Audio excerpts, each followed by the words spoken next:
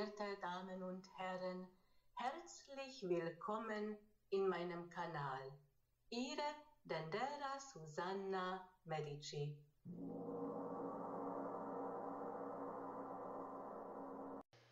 Wie beeinflusst die kosmische Energie unserem heutigen Tag am 2. März 2018? Heute ist Vollmond, aber bei Sonnenaufgang ist die Vollmond schon vorbei, weil die exakte Vollmondposition ist um 1 Uhr 51 Minuten. Was bedeutet ein Vollmond? Mond hat kein eigenen Licht, sondern Mond bekommt die Licht von die Sonne. Wenn die beiden Himmelskörper, Sonne und Mond, in gleichen Tierkreiszeichen in gleicher Gradzahl stehen, dann ist es Neumond. Mond entfernt sich ziemlich schnell von dieser Position und beginnt die zunehmende Mondphase. Das heißt, die Mond bekommt das Licht, die Sonne immer mehr Licht nimmt zu. Diese Zeit eignet sich dafür, etwas beginnen, was zunehmen soll, was vermehren soll.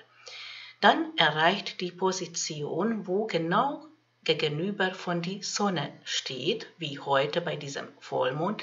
Das heißt, Sonne und Mond stehen gegenüber und die Sonne kann die Mond voll und ganz beleuchten. Wenn das in einem Mondknoten befindet, dann haben wir ein Finsternis. Aber heute ist kein Finsternis.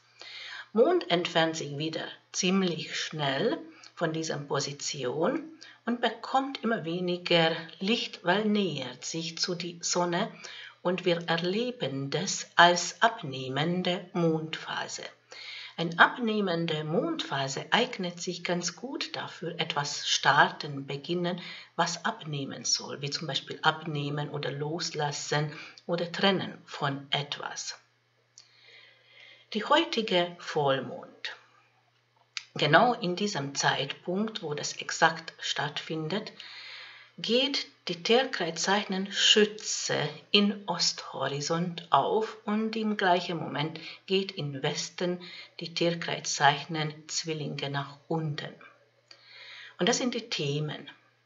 Das heißt Ausland, Reisen, Fremdsprache, aber auch Kommunikation, Medien, Nachrichten. Dieser Vollmond, dieser exakte Vollmond in Tierkreiszeichen Jungfrau befindet sich auch im Bereich, was mit Ausland zu tun. Und da sind Einschränkungen da. Wir fühlen uns ein bisschen eingeschränkt, ähm, was die ausländischen Kontakte betrifft oder die Reisen betrifft oder diese Einwanderungspolitik betrifft. Und Jungfrau, das heißt, wir wünschen die Ordnung. Und gegenüber liegt die Sonne aber nicht nur die Sonne, sondern auch Neptun. Also man fühlt sich auch enttäuscht von dem ganzen System gerade. Was fehlt die Struktur? Es fehlt auch die Gleichgewicht. Also das sind die wichtigen Themen, was viele Menschen natürlich beschäftigt und sie brauchen eine Lösung. Und es ist wichtig, die Nachrichten zu achten, welche Informationen wir gerade bekommen. Auswanderung, Einwanderung, das sind die Themen und es verliert gerade die Gleichgewicht. Die Menschen fühlen sich enttäuscht, sie brauchen die Gerechtigkeit, sie brauchen die System, sie brauchen Einordnung und sie fühlen sich eingeschränkt gerade und es kommt nicht richtig im Fluss und das, was viele Menschen empfinden, und bei dieser Vollmond heißt mehr Klarheit oder suchen Auswege, eine Lösung. Man braucht eine Lösung. Bei dieser ganzen Situation, einige Menschen denken auch nach ähm, Auswandern, also planen, dass das die Land verlassen und im Ausland leben. Dann natürlich, das kommt auch noch dazu. Dieser Vollmond wird von Zosma bestrahlt. Nicht nur die Vollmond, sondern unseren Planet Erde seit einigen Tagen hat einen Einfluss von Zosma und das bedeutet Umarmung, Umgürtelung. Man sucht Kontakte, man versucht äh, sich zu verbinden und diese ähm, Sternzosma hat bei den Babylonier eine Bedeutung gehabt, weil sie haben diesen Stern verehrt, der Stern der Orakel oder Prophezeiungen. Nicht nur Zosma bestrahlt diese Vollmond, sondern auch der Nebula. Und der Nebula heißt übersetzt Gerechtigkeit, die göttliche Gerechtigkeit, Ursache und Wirkung. Und die Chinesen bezeichnen diesen Stern der Nebula als den Richter, der göttliche Gericht, die Richter. Die alten persischen Astronomen haben diesen Stern beobachtet, diesen der Nebula, wo gerade auf diesem Vollmond einen Einfluss hat. Und sie haben festgestellt, da kommt immer ein Wechsel, eine neue Richtung, ein neuer Wind weht. Also so könnte ich diesen Einfluss beschreiben. Und jetzt schauen wir an die einzelnen Tierkreiszeichen. Die Tierkreiszeichen Fischengeborenen befindet sich die Sonne und bei Sonnenaufgang geht die Tierkreiszeichen Fische in Osthorizont auf. Bei Vollmond, bei die exakte Vollmond, ist es noch die Schütze, aber bei Sonnenaufgang ist die Tierkreiszeichen Fische, wo in Osthorizont aufsteigt. Für die Fischengeborenen ist es natürlich auch wichtig, wahrgenommen zu werden. Aber es ist wichtig, die inneren Gleichgewicht achten orientieren, etwas in Ordnung zu bringen, etwas im Fluss zu bringen. Sie fühlen sich ein bisschen eingeengt. Glück haben die in die Liebe Partnerschaft, weil da bekommt einen guten Einfluss von Jupiter gerade, also in die Liebe Partnerschaft kommt etwas in Bewegung. Wichtig ist die inneren Gleichgewicht. Aber dieser Glück in die Liebe Partnerschaft muss nicht unbedingt heute sein, sondern das kann auch in die kommenden Tagen passieren. Auf jeden Fall sind die Fischengeborenen gerade wahrgenommen, werden sie wahrgenommen. Ein klärende Gespräch zu führen ist auch sehr wichtig, weil die Fischengeborenen brauchen gerade die Orientierung und sie brauchen gerade die Klarheit, sonst fühlen sie sich eingeengt. Bei Tierkreiszeichen Wiedergeborenen ist wichtig die Sicherheit und Stabilität und sie möchten auch wahrgenommen werden. Sie setzen etwas im, werden etwas im Schwung bringen. Kraft und Mut haben die Wiedergeborenen und bei vielen Wiedergeborenen ist es auch die Umbrüche und die Veränderungen. In den kommenden Tagen wird etwas sichtbar sein. Bei Tierkreiszeichen Stiergeborenen ist wichtig die berufliche Situation und die Finanzen. Das kommt auch in Ordnung, weil darum kümmern gerade die Stiergeborenen. Aber nicht nur die Finanzen und die Beruf ist wichtig, wo sie Stabilität brauchen oder bekommen, gerade diese Stabilität, sie haben auch gute Gespräche, sondern in die Liebe Partnerschaft haben die Stiergeborenen auch Glück. Die Tierkreiszeichen Zwillingsgeborenen fühlen sich ein bisschen eingeschränkt momentan. Sie verlieren zurzeit die Gleichgewicht. Aber wichtig ist zurückhaltend sein, die Ruhe bewahren, jetzt nicht handeln, nichts Neues anfangen, abwarten, bis die Mond im Tierkreiszeichen vage ist, weil dann kommt wieder die Begeisterung und auch die Aktivität. Die Tierkreiszeichen Krebsgeborenen kommt etwas im Fluss. Sie bekommen gerade die Klarheit, die Orientierung und sie werden auch wichtige Entscheidungen treffen. Sie befinden sich in einer Wandlung, aber wichtiges Thema wird auch sein die Liebe und die Partnerschaft, weil das bekommt auch eine Struktur gerade.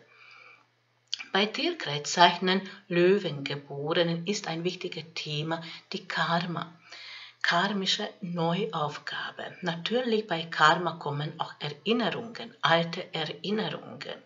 Und das, was die Löwengeborenen spüren, diese alten karmischen Erinnerungen. Und das versuchen sie verwirklichen im beruflichen Umfeld. Sie suchen ihren Platz im Leben, sie suchen ihre wahre Berufung. Natürlich, manche Löwengeborenen sind äh, orientierungslos, weil das ist das Gefühl, Aber da braucht man auch ein Vertrauen, das auch zum Wagen, die Kraft und die Mut ist da. Jetzt ist wichtig die Orientierung und es ähm, ist gut, jetzt gerade bei diesem Vollmond die Klarheit zu bekommen, die Augen zu öffnen, was ist die Berufung und bei abnehmenden Mondphase, Mondphase von etwas verabschieden, wie Gefühlen wie Zweifel oder Angstgefühl oder kann auch eine Kündigung sein, da wirklich das in Tat umsetzen, kündigen und etwas Neues starten, beruflich. Bei Tierkreiszeichen Jungfrau Geborenen spielt natürlich eine große Rolle dieser Vollmond, weil das befindet sich im Jungfrau. Natürlich die Mondenergie wirkt auf uns alle. Die Thema ist auch noch die Jungfrau, etwas in Ordnung zu bringen. In welchem Bereich brauchen wir Ordnung? Das ist die Ausland, die Reisen, die Kontakte, die Auswanderung und Einwanderung. Das ist eine, diese Struktur, das braucht Ordnung und das strahlt gerade die Tierkreiszeichen Jungfrau aus. Und so fühlen auch die Jungfrau geboren. Sie brauchen auch eine Ordnung, welche Veränderungen. Vielleicht spielt wirklich auch die Reise auf den Privatebenen auch eine große Rolle, besonders bei den Jungfraugeborenen, eine Reise zu planen oder ein Umzug, ein Neuanfang oder Kontakte zum Ausland oder ein Studium kann auch eine Bedeutung sein. Etwas spiegelt auch das Leben, Klarheit zu bekommen, mehr orientieren, befreit zu sein, Gespräche suchen, die Liebe Partnerschaft ist auch ein wichtiges Thema gerade weil das spiegelt sich auch etwas für die Jungfrau geboren, das auch in Ordnung zu bringen, aber nicht nur warten, sondern aktiv zu sein, auf anderen zuzugehen. Bei Tierkreiszeichen Wagengeborenen ist momentan ein wichtiges Thema die berufliche Situation, da mehr Klarheit zu bekommen wo ist ihren Platz beruflich? So ähnlich wie bei den Löwengeborenen, nur bei den Wagengeborenen sind es keine karmischen Themen, sondern einfach die Orientierung, etwas zu verbessern in beruflichen Situation. Die Gespräche sind momentan so unklar, so empfinden das die Wagengeborenen.